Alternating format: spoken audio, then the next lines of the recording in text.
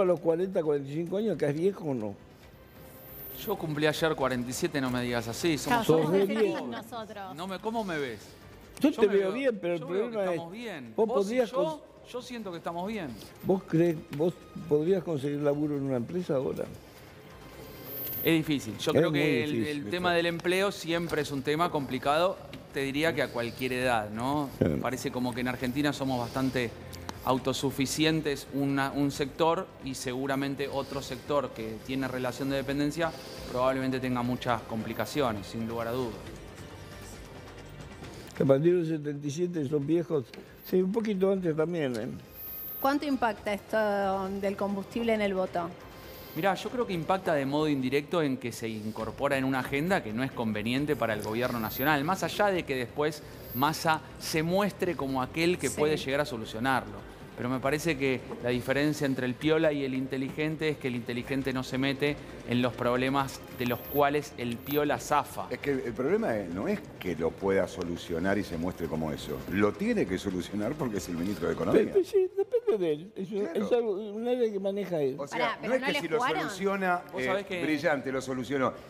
Eh, es su obligación. Claro, Pero pero, vos sabés que las campañas a veces tienen dinámicas diferentes. Yo digo que el último mes de campaña no es exactamente que la realidad se impone y lo real y la verdad, sino que en realidad muchas veces jugamos con percepciones, con sensaciones. Entonces me parece que ante esta situación desencadenada seguramente por una mala praxis del gobierno nacional, del modo en el que se muestra Massa es como, bueno, yo voy a ser el garante de la solución, del otro lado hay Por eso vos decís que la sensación de la gente queda, lo No, solucionó no, no, Massa. no estoy diciendo de la sensación de la gente, estoy diciendo del posicionamiento de los candidatos. Sí, en está este bien, caso de pero el Massa. que- el que no quiere decir que eso sea eficiente. Claro. Lo que estoy diciendo es, bueno, cuál es el relato que quiere imponer de la situación. Una situación que claramente eh, lo deja expuesto un gobierno nacional sin lugar a dudas. ¿O le jugaron, Chicho, una mala pasada? Porque si el acuerdo No. era no aumentar la nafta hasta el 31 de octubre, Creo hasta que, las creo, elecciones, que si alguien hay se está, balotaje, creo que alguien se debe estar comiendo unas puteadas interesantes.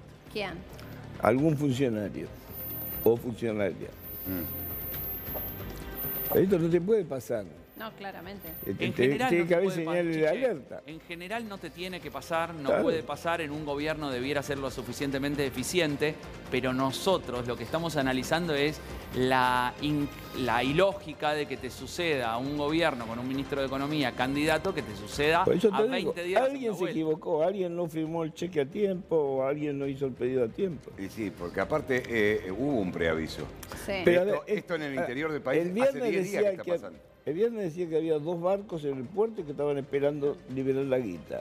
No hay ningún dos barcos, No. ahora parece que son barcos que están viniendo recién.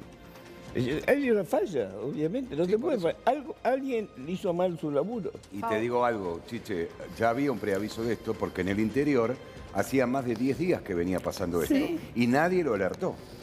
Nadie lo alertó. Sí, debería haber alerta, pero no nos enteramos nosotros. Eh, al- alguien, alguien hizo mal las cosas, de eso no tengas duda. Siempre hay alguien que se equivoca. Porque si vos, a ver, independientemente de la provincia, nosotros eh, importamos y exportamos combustible. Claro. Hay determinado combustible que tenemos que importar. Y bueno, sa- sabés que, que hay un balance con eso. Por eso me llama la atención. Yo creo que ahí se debe estar comiendo puteadas importantes.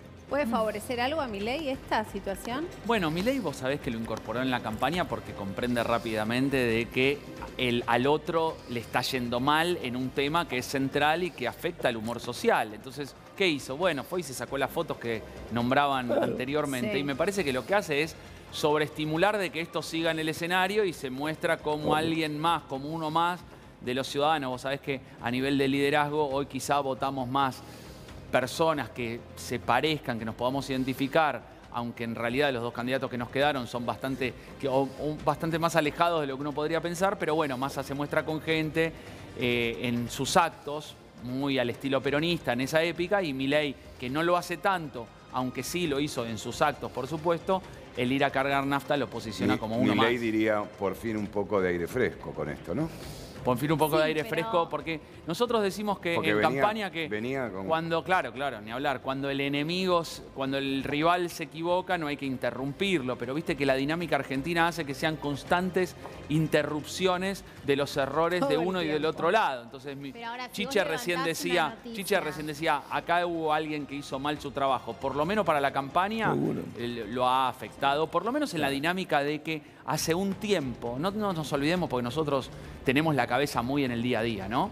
Pero hace dos, tres meses, la dinámica de la campaña la manejaba Javier Milei antes de las PASO. Sin lugar a dudas. Es que el problema es Desde que- las PASO a las generales la empezó a dominar Massa. El problema es Y que él, cada... bajó, y él bajó, él sacó el pie del acelerador. No. Digo, ¿Milei? Milei. Milei en un momento se moderó, pero lo que realmente sucedió es que Massa empezó a tomar el protagonismo de alguna manera con cierta astucia, pero sobre Sí. todo con mucha audacia. El problema es que cada margen de error de acá al 19 de noviembre puede provocar un cimbronazo en cada uno de los Mira, candidatos. si no provocó nada, no de nada, nada te Esto, Chiche, esto le genera a la gente malestar, enojo, terminan Sí, la cargando la, nafta más cara. No se traduce en voto. Pero como me dicen ustedes, No no, sé. subestimen al electorado, siempre me lo dicen y, y lo recuerdo. Me parece que ya la gente tiene una lectura política bastante clara. Recién lo decía un señor arriba de un auto, esto de utilizar una foto para hacer campaña. O, por ejemplo, los distintos comentarios eh, de trolls en las redes que parecían copiados y, y pegados. eh, que se le adjudica al espacio libertario. Me parece que si vos utilizás mal también una noticia, te juegan contra. Es que la foto es real. El problema es que la foto es real. No Mara es ficticia. múltiple, opina política, opina de todo. Sí, Mara. nosotros decimos siempre lo Yo te mismo, opino ¿no? de todo. Chiche, nosotros decimos siempre lo mismo. Analizamos pel- plancho, lavo. que nosotros decíamos siempre lo mismo, analizamos películas y la película se compone de muchas fotos. El tema es que a veces son fotos muy importantes y otras veces son una repetición de una enorme cantidad de fotos. Entonces, Ponele- parece que la dirigencia política que está vender, esperando todo el tiempo el cajón de Herminio. Tengo que vender. Chicos, si hablamos de precio y calidad.